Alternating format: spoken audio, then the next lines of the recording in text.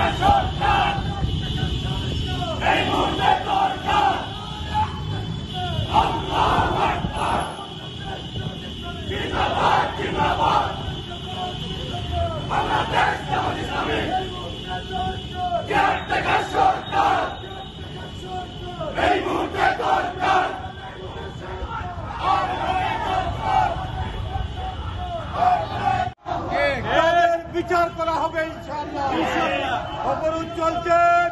আগামীতে অবরোধে করা